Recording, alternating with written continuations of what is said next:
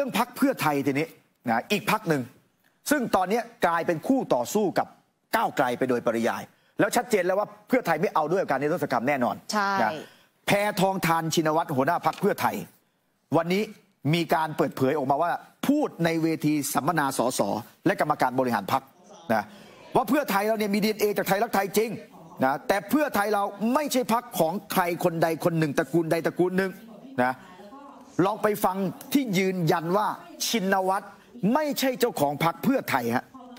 ตอนนี้นะคะพรรคเพื่อไทยเราก็ทราบอยู่แล้วล่ะค่ะ ว่าเรามี DNA มาจากพรรคไทยรักไทยนะคะ ตอนนี้ตัวเองก็เป็น DNA มาจากผู้ก่อตั้งพรรคไทยรักไทยนะคะ ก็แต่ว่ายังไงก็ตามเนี่ย DNA ที่พูดถึงไม่ได้หมายความถึงสายเลือดหรือตระกูลนะคะ แต่มันหมายความถึงจุดรวมของพวกเรานี่เอง เราเป็นพรรคการเมืองที่เอาประชาชนเป็นศูนย์กลางเป็นพรรคการเมืองอยากจะเน้นย้ำอีกครั้งนะคะว่าสำหรับตัวอิงเองนะคะอิงคิดว่าครอบครัวของอิงไม่ใช่เจ้าของพรรคเพื่อไทย แต่เราทุกคนคือเจ้าของพรรคเพื่อเพื่อไทยค่ะ ภายใต้การนำของผู้นำที่เก่ง ไม่ว่าจะเป็นท่านทักษิณท่านนายกยิ่งรักษณ์ท่านนายกเศรษฐา จะทำสำเร็จไม่ได้เลย ถ้าไม่มีทีมที่สมบูรณ์ ทีมที่ดี ทีมที่เก่ง ทีมที่คอยบอกว่าสิ่งนี้ดีแล้ว สิ่งนี้ยังต้องเพิ่มเติมนะคะ การนำของผู้นำที่ดี มีผู้ตาม คนที่เป็นห่วง ที่แข็งแรงเหมือนพรรคเพื่อไทยของเรานี่แหละค่ะ ถึงทำให้การนำที่ดีนั้นนำได้สำเร็จได้ค่ะ นี่ฮะ เป็นการประกาศว่าครอบครัวชินวัตรไม่ใช่เจ้าของพรรคเพื่อไทยนะแล้วก็ผู้นำไม่ว่าจะเป็นทักษิณยิ่งลักษณ์เศรษฐาทำสำเร็จไม่ได้ถ้าไม่มีทีมค่ะนะนี่ประกาศย้ำอ่าแล้วก็ประกาศไปเนี่ยทีนี้ ข้อเท็จจริงมันเป็นยังไงล่ะนะข้อเท็จจริงคนที่ติดตามการเมืองเนี่ยอ่าใครเป็นเจ้าของพักคำว่าเป็นเจ้าของพักมันจะพิสูจน์ยังไงใช่ไหมถ้าพิสูจน์ดูที่ใครเป็นผู้มีอำนาจตัวจริง นะก็ต้องดูย้อนกลับไปก่อนหน้านี้ค่ะทักษิณคิดเพื่อไทยทำสโลแกนใครกำหนดมาทักษิณคิดเพื่อไทยทำยิ่งรักษณ์เป็นนายกค่ะบุญทรงติดคุก หลายคนติดคุกนะแล้วที่ผ่านมาเนี่ยตำแหน่งอย่างเช่นคุณอุ้งอิงเนี่ยก็ได้ขึ้นมาเป็นหัวหน้าพักเนี่ยค่ะถามว่าเข้ามาทำงานในพักเพื่อไทยนานหรือยังเออไม่แล้วนานกระโดดข้ามคนกี่คนใช่นะคือพูดพูดได้ แต่ข้อเท็จจริงมันเป็นอย่างไรเนี่ยประชาชนก็จะพิจารณาค่ะเห็นไหมแล้วก็รวมไปถึงสิ่งที่เพื่อไทย ถ้าบอกว่า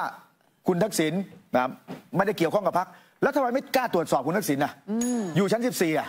นะแล้วราชทันเนี่ยเอื้อประโยชน์ให้หรือเปล่า ค่ะ รัฐบาลพรรคเพื่อไทยไม่ดำเนินการอะไรเลยเนี่ย เวลานักข่าวไปถามก็จะเหมือนตอบแบบไม่รู้เรื่อง รัฐมนตรีบางคนพอถูกถามเรื่องนี้ปุ๊บ เออผมว่าเรื่องนี้แค่แค่นี้ เดินหนี้ คุณสมศักดิ์ อย่างนี้เป็นต้นนะแต่ปรากฏการณ์ที่น่าสนใจคือ อุ้งอิงในท่ามกลางการพูดครั้งนี้นะค่ะบางช่วงบางตอนอัญเชิญพระราชดำรัสของในหลวงด้วยนะ เดี๋ยวลองไปฟังบางช่วงบางตอนโอกาสนี้นะคะยิ่งขออัญเชิญพระราชดำริของพระบาทสมเด็จพระเจ้าอยู่หัวที่พระราชทานแก่คณะทูตแล้วก็กรมสุลใหญ่ ไทยที่เข้าเฝ้าเมื่อวันที่ 25 พฤศจิกายนที่ผ่านมานะคะ ทรงตรัสถึงคนรุ่นใหม่ค่ะ ว่าทุกคนในที่นี้และตัวพระองค์เองก็เคยเป็นคนรุ่นใหม่มาแล้วทั้งนั้น ประโยคนี้สั้นๆ ลึกซึ้ง มีความหมายอย่างมาก ๆ ค่ะ แปลว่าอะไร แปลว่ารุ่นเก่าของเรา ก็เคยเป็นคนรุ่นใหม่มาก่อน เราทุกวันนี้เป็นคนรุ่นใหม่ นี่ คือบางช่วงบางตอนนะค่ะที่หยิบเอาพระราชดำรัสที่พระราชทานเอ่อต่อเอกอัครทูตผมจำได้ พระองค์ท่านทรงเปิดโอกาสให้ทูตเนี่ยถามแต่ละเรื่องแต่ละเรื่องค่ะแต่อุ้งยิงหยิบเอามาแล้วก็มาตีความเกี่ยวกับเรื่องนี้นะฮะแต่หยิบเอาพระราชดำรัสมาค่ะนะโอ้โหคุณสรวงศ์เทียนทองเลขาธิการพักเพื่อไทย วันนี้เนี่ยพูดกับนักข่าวเลยนะ ว่าแพทองทานเนี่ย พร้อมเป็นนายกหญิงคนต่อไป แต่อาจจะยังไม่ใช่ปีหน้านะหลายคนบอกว่าปีหน้าจะมีการเปลี่ยนแปลงทางการเมือง นายกหญิงจะมาเลยหรือเปล่าสรวงศ์บอก คงไม่ถึงขนาดนั้น คุณเศรษฐายังทำงานดียังทำงานได้นะส่วนแพทองทานตอนนี้ทำงานกับพักอันนี้เลขาธิการพักพูดเองค่ะสมศักดิ์เทพสุทินนะเอ่อกล่าวในระหว่างสัมมนาเนี่ยคุณลุงสมศักดิ์นะฮะ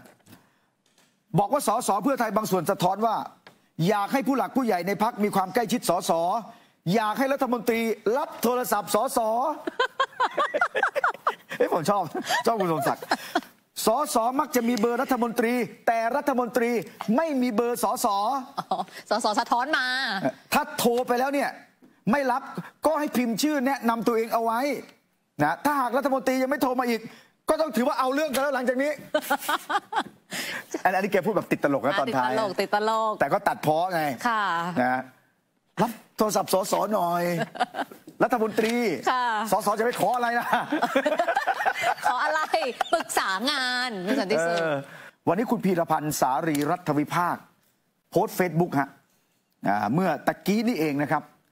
เตรียมเสนอคอรมอเตรียมเสนอคอรมอตรึงราคาค่าไฟฟ้า 3.99 บาทต่อหน่วย โอ้ เพราะว่าก่อนหน้านี้มีข่าว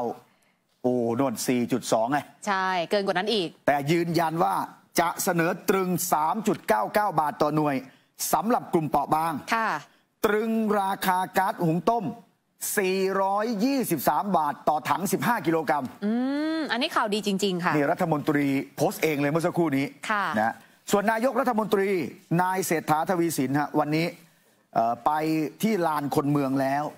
นั่นก็คืองานฉลองฮะสงกรานต์ในไทยมรดกภูมิปัญญาทางวัฒนธรรมของมนุษยชาตินะฮะนี่อ่าพอไปถึงก็มีขบวนกองยาวนะอ๋อมารอรับมงมงเท่งมงเท่งมงเท่งมงนะเออนี่แล้วก็มีการแสดงค่ะนะมหาสงกรานต์จตุรทิศแผ่นดินไทยนะแล้วก็มี แอนโทเนียโพซิ้วนะรองอันดับหนึ่งมิสยูนิเว r ร์สแสดงเป็นนางสงกรานต์ด้วยนะ ค่ะ ชื่อว่าอะไรฮะ มโหธรเทวีอืมนี่ อันนี้เป็นการฉลองวันนี้นะฮะ ที่ลานคนเมืองเมื่อตะกี้นี่เองฮะค่ะสดสดๆร้อนๆนะฮะนางสงกรานต์ปีนี้ชื่อ มโหธรเทวี ค่ะนะแต่ว่าคนที่มารับบทนางสงกรารวันนี้ ระดับรองอันดับหนึ่งมิส s u นิเว r ร์สแอนโทเนียดูมากความสวยทำให้ไม่น่ากลัวฮะนางสงกรารสวยแม้ว่าจะถืออาวุธก็ตามทีอ่าฮะโอ้ไทๆบรรยากาศวันนี้นะค่ะอันนี้ก็เป็นอีกหนึ่งความสำเร็จเบื้องต้นนะที่ต่อเนื่องมาตั้งแต่ยุครัฐบาลชุดที่แล้วอะค่ะที่ไปขับเคลื่อนไปผลักดันนะจนกลายเป็นมรดกทางวัฒนธรรมของมนุษยชาตินะแบบจับต้องไม่ได้อืมนี่จัด ฉลองนะฮะอ่าอ้าวอีกอันหนึ่งทิ้งท้าย เรื่องของมรดกทางวัฒนธรรมอาหารการกินชาวบ้านบ้าง ค่ะ ที่จังหวัดพะเยาครับ ตอนนี้กำลังคึกคักกับการเข้าป่าหาหนอนรถด่วน คุณมิวรู้จักไหมอ๋อเคยกินค่ะที่เอาไปทอดหนอนรถด่วนหนอนไม่ไผ่รวกเออเพราะว่าตอนนี้ราคา 800ถึง1,000 บาท ต่อกิโลกรัมครับอุ๊ยแพงนะเนี่ย ดูสิฮะเฮ้ยแต่พอเห็นแบบนี้แล้วมันก็แบบแปลกๆเหมือนกันนะอ่า800บาท แต่ถ้าลวกสุก